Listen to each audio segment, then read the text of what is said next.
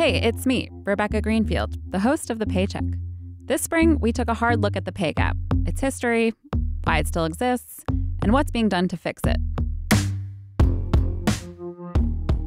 If there was one thing we wanted to achieve with our series, it was to get people, especially women, talking. And it worked. After the show ended, the conversation didn't. We heard from listeners who told us their own stories of pay discrimination and sexism. And here at Bloomberg, we kept reporting on and talking about the pay gap and all the other issues we discussed on the show. But we wanted to do more. We wanted to hear for ourselves the conversations we know women are having with each other behind closed doors.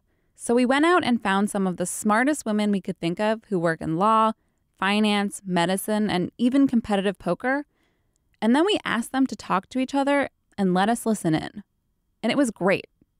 They talked about the particular challenges of starting a business as a woman, why motherhood should be a job qualification, and how after decades of working, you can still feel unqualified for a job. For the next few weeks, we're going to be bringing those conversations to you. Think of it like a masterclass. First up, we tackle the world of finance. And if there's anybody who knows what it's like as a woman in the highest levels of banking and wealth management, it's Sallie Krawcheck. She's the former chief financial officer of Citigroup, and she was fired in 2011 under what she says were gendered circumstances. With her is Bianca Caban, who is fresh out of Columbia Business School, and she's trying to change the power dynamics of finance from the inside. My name is Bianca Caban. I lead partnerships at Republic. We are an investment platform that allows startups and blockchain projects to raise capital from retail investors. I'm here to interview Sallie Krawcheck. We actually did a case study about you oh my in gosh. business school. yeah, so I when, when I really yes when I heard oh you know you have the opportunity to meet Sallie Krawcheck, I thought oh my goodness she's my girl career idol crush. I'm Sallie Krawcheck. I'm the CEO and co founder of Ellevest, which is an investing platform for women. Uh, and I'm here today with Bianca Caban from Republic. I want to kick it off at the very beginning, Sallie, and talk about your early life. And so when you were growing up and you thought about what you wanted to be, a princess, did you ever think that you would be a global chief executive. Yeah, totally. That, when I was growing up, I was like princess or global chief executive. It was going to be one of those two. Hell no. You know, I just, eh, it was one step at a time.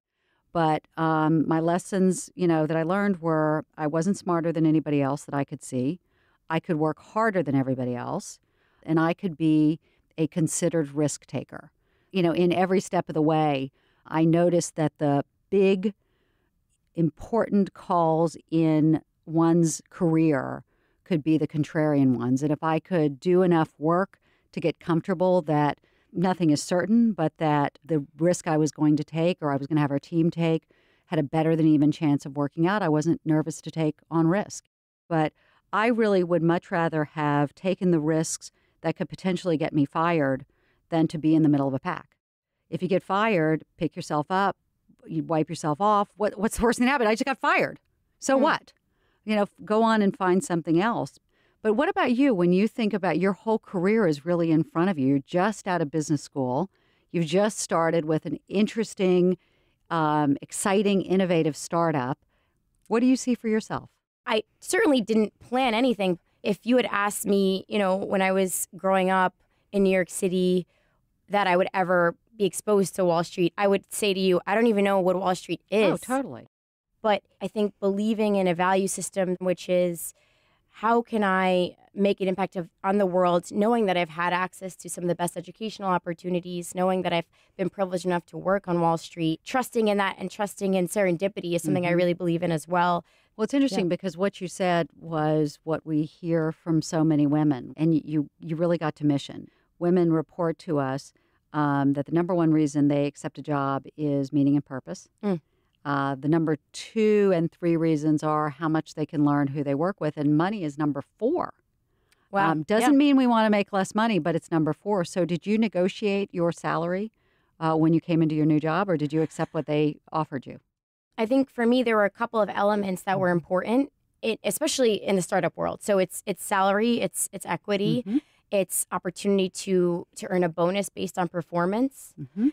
It's you know benefits, of course. So I did negotiate, um, but I I do think it's important to have not be afraid to. Oh, you have to. Yeah. If they're giving the money to the folks who negotiate and not to the folks who don't, then you can start off with a pay gap that can be tough to make up through the course of your whole career. That's exactly right. One of the classes I took at Columbia Business School is managerial negotiations. hmm what was interesting in that class was a conversation came up on gender differences in negotiating. Mm-hmm. The debate that they presented to us was so women have certain characteristics that they bring to the negotiating table. Should they try to abandon those and just negotiate as if they were a guy or should they embrace those? What was the answer? We were it was split pretty evenly, but I think what I would say That hurts me. Oh, yes, your view on it? Oh yeah, women change, right? Yeah, I, I I mean. I spent my whole friggin' career. Women change. Um, be more risk taking. Yeah. Be more assertive. Be more like a man. Act like a man. Which I guess sounds okay until you realize there's a backlash for doing that. Plus, for companies, you know, the entire power of diversity, which is so well documented, that diverse teams outperform smarter teams and have higher returns on equity and lower risk and greater innovation and greater client engagement and greater employee engagement, all that good stuff that comes from diversity. Well, doesn't that fall away if we all act like a white guy? Um, one of the things we don't talk about very much is that a reason for the financial crisis is that one, there was very little diversity, so there was a bunch of people thinking the same. yes. And two, um, for people of difference in the industry, we had been so taught to act like the majority that we didn't bring our difference to work. I can't tell you how many times uh, when I was mid career on Wall Street and I had female friends who were traders, and their badge of honor was they took more risks than the guys did. So they were more male, th- they were more macho than the macho guys. Um, that's not helping anybody. So I have a question for you. Yeah. Were you sexually harassed? You know, I hope you keep that long pause in there. I, I, I can't say that I, I um, let's see. I, thankfully, I haven't experienced overt sexual harassment. Having said that, were there little microaggressions that took place? For example, when I was early on in my career on the street, you know, all the guys were were going to party with the clients, you know, and, and bond with them in that way. And it's, or maybe you know, I you know the guys were going to go on a run during lunch, and could you man the desk while I went, while we go for a run together? But I think, I think in some ways those small microaggressions might be um, almost equally as taxing because it's kind of constant and it's all the time. We're not allowed to complain about it either. No, no. Uh, You guys are going for, you know, you guys are going to a bar without me. Wah, boo hoo. Exactly. and, and by the way, I can tell, I know this, this conversation's uncomfortable, uh, but I think it's an important one for Yeah. us to have. So, yeah, I was totally sexually harassed. Of course, it was the 80s and 90s. Mm, Um, it was overt, it was hostile. The goal of it was to drive the women out um, from the industry. When I was a junior investment banking associate, I was on a client team that was led by a well known um, CEO of a client company, just sort of one of these, you know, guys who was always in the newspaper. And uh, he was flying in from the West Coast one evening and invited, you know, called me directly. I thought, oh my goodness. and invited me to come over and go over the numbers with him. And I thought, oh my goodness, I am so good at my job that I am being asked to come go over the numbers with the CEO without the vice president or the director or the managing director or the senior managing director. Look at me, so good at my job. And then he, of course, invited me to go over those numbers with him at 11 o'clock at night in his hotel room. mm. Now, I, I may have been from the South, but I wasn't a naive lady. And I went to the senior banker at the time at the company I was working at. And it was interesting because he took me off the um, deal, which at the time I was really grateful for because it took me out of a very difficult situation. However, he put me on another deal that was not nearly the high, high, as high profile or as lucrative or as interesting as that deal. And at the time, I just thought, isn't that great that I work for such a forward looking company? And yet, my bonus was lower that year because I didn't have the revenues associated to my name for something that was completely not my fault. And I think that's what I'm loving, Bianca, about your generation is changing because my generation, we looked away. Mm. I mean, if, if a woman sued a company for harassment, everybody stepped back and everybody looked away. And your generation is coming together. So when Susan Fowler went after Uber, went after Travis and Uber, Mhm. women came around her on social media in a way we couldn't have in my generation and took him out. Mm-hmm. I think, and some of this driven by the election of Trump and a recognition that what we, what my generation has done wasn't enough. Is you, y'all are coming together Mhm. and banding together, Yeah. and using your voice in a way that we, one, didn't have the means to because we didn't have social media, but two, you know, frankly, just didn't have the guts. To, you know, just you know, just didn't do it. As an entrepreneur, building your company the exact way you would ever want it to be, how can you institutionalize basically the opposite of gender bias? It, it- do you do you write it out? You know, we have a no ask policy. We have a no. What do you no, do? he, here's what I would say. Um, first of all, I think almost every CEO in the country of big companies believes in the power of diversity today. And our progress on women getting the CEO jobs has stalled because middle management is where diversity goes to die. What I have found as CEO, even when I'm like, hey, we're a company that's going to, you know, advance, you know, close the gender investing gap and we're all about women and we're going to be all about diversity.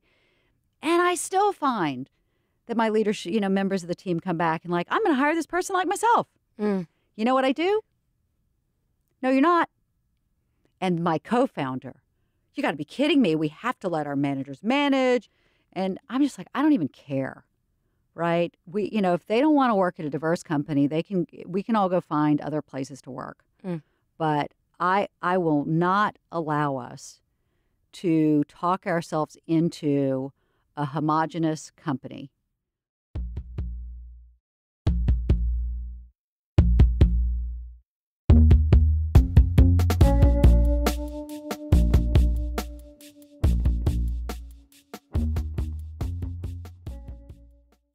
So I've had an insight back when I was CFO of Citi, and I we were down in Latin America, visiting clients, doing business reviews, and there were probably eight guys with me traveling, and uh, we stayed out late one night in Brazil.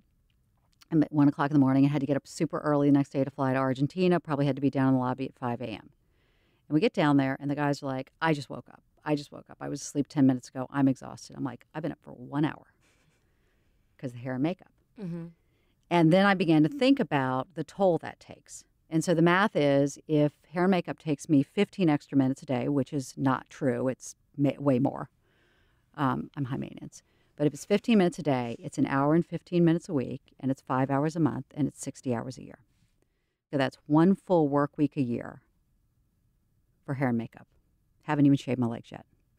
Yeah, I think what that shows is as a woman, we inherently have a lot going on. We become incredibly good at multitasking. Things like motherhood should be considered a skill set, a life skill set that's actually enhancing a woman's ability to execute their job. but it's not. And, exactly. And this drives me berserk. So I'm going to go back again to when I was CFO, and I remember being on a panel of other CFOs, and they were all male, and I was a female. And I got the inevitable question from a woman in the audience about my work life balance. And you just sort of felt like, that's fantastic. Um, I've now made CFO of one of the largest companies around, and it's still not good enough. Because in addition to doing this, I have to be, I have to have balance which of course is absolutely effing impossible when you're doing these big jobs. And rather than recognizing work life balance for what it is, which is a privilege, a privilege that our sisters who are cleaning the hotel rooms in this city today do not have.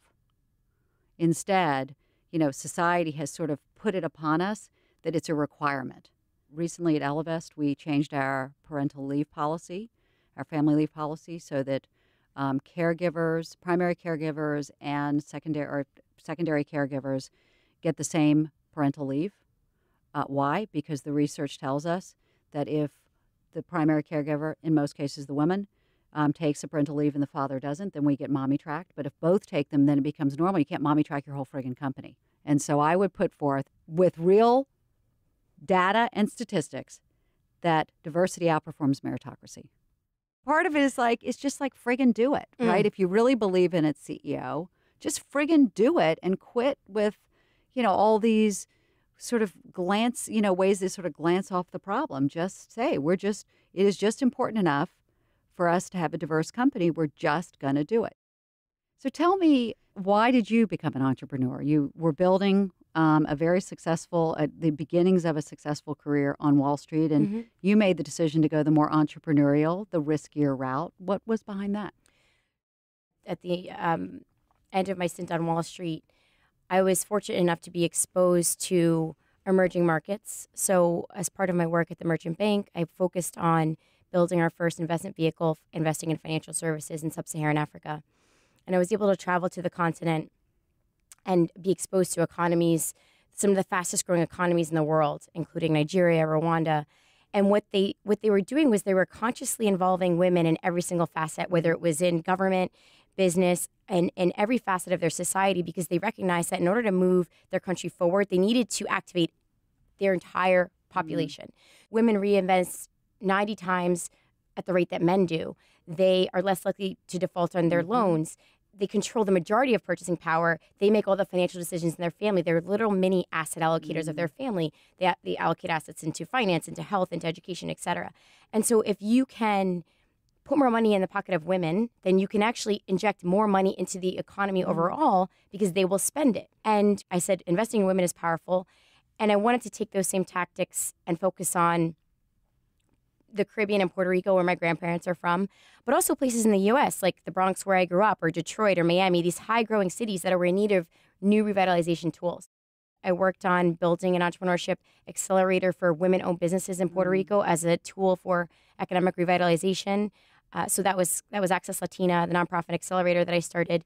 And again, it was really just this tool that I thought, well, investing in women, if this is working in places like sub-Saharan Africa, why can't it work right here in mainland U.S.? And so that's what drove me. And then ultimately went on to business school to focus on learning about early stage investing. What I would love to understand from you, Sallie, is obviously you are building a financial services technology company, a wealth management platform for women. What was your experience as an entrepreneur with with getting investment into your company in terms of female investors and, and how do you think Yeah. we can as women start to invest in each other more, put our money where our mouth is kind of thing or take an actionable kind of step into furthering the pie for for everyone through investment. Money's power. We all know this in a capitalist society. Men have more money than women do. Therefore, men have more power than women do. If you can do one thing to improve society or community, it is to get more money to women. When women ha- build wealth, they put 90% of it back into their community and back into their families. When women have more money, they give a higher percentage of their wealth to nonprofits than men do. Um, so I'm spending this part of my career working to close a money gap that I didn't even really recognize existed, which is the gender investing gap. For years, our industry, Wall Street, the investing industry, blamed women for not investing as much as men do. They're so risk averse, right? They, they need a financial relationship, they need more financial education. Rather than ever stopping and saying, you know what, maybe we, the investing industry, which is 90 to 95% male, maybe we're just doing a better job for the guys than we are for the women. Maybe we can build something that motivates women to invest.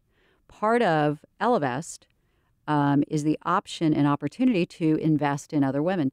Boy, that seems weird, right? Why is that a good thing to do? I mean, I just want to invest in the best, right? I just want to invest in the best stocks and the best companies and the best categories. Yes.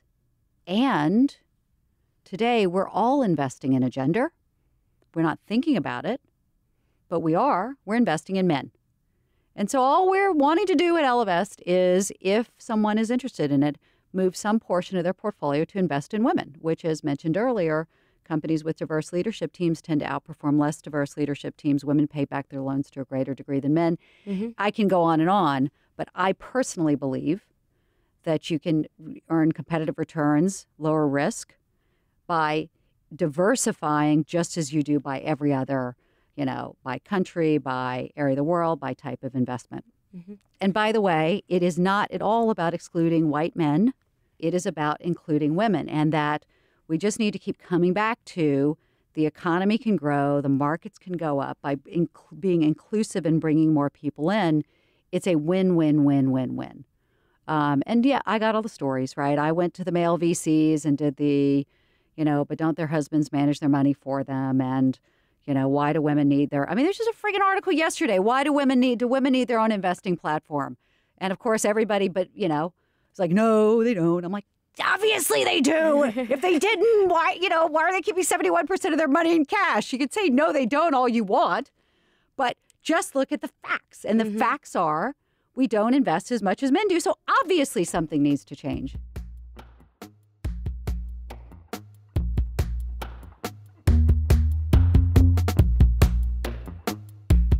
Listening to Sallie and Bianca, it's clear that there's an awareness of all the hurdles women face in the workplace, but that awareness isn't enough. Like Sallie said, despite all the talk of diversity initiatives and general agreement among business leaders that a diverse workforce leads to better financial outcomes, the numbers for women in the best paying jobs aren't great. And they're actually getting worse. With Indra Nooyi, the CEO of Pepsi, stepping down from her post this year, CEOs of the biggest US companies are now whiter and more male than they've been in a long time, reversing the modest gains made on diversity earlier this century. In recent months, female CEOs have also stepped down from the Campbell Soup Company, Mattel, and Hewlett Packard. This is all despite the fact that more women than men earn college degrees now, and women make up almost 50% of entry level hires. So, why, given everything we know and everything companies claim to be doing, are women still not making it to the highest and highest paid echelons of the business world?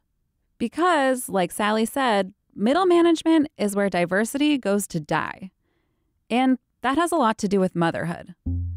Successful women are expected to have work life balance, while men are allowed to just work. That was true when Sallie was coming up, and Bianca will likely face the same double standard as she progresses. That is, unless the workplace adapts. Thanks for listening. If you like our show or if you have anything else to add to the conversation, please head on over to Apple Podcasts to rate, review, and subscribe. This show is edited by Jillian Goodman, produced by Liz Smith, and hosted by me, Rebecca Greenfield. Francesca Levy moderated today's conversation. We also had production help from Janet Paskin and Topher Forhecz. Francesca Levy is Bloomberg's head of podcasts. We'll be back next week with more conversations.